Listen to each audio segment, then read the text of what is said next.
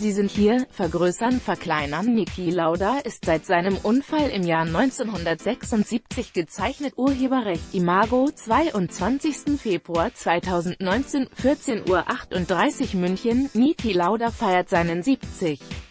Geburtstag.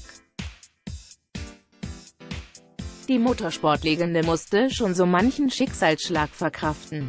Sport 1 zeigt seine Karriere in Bildern.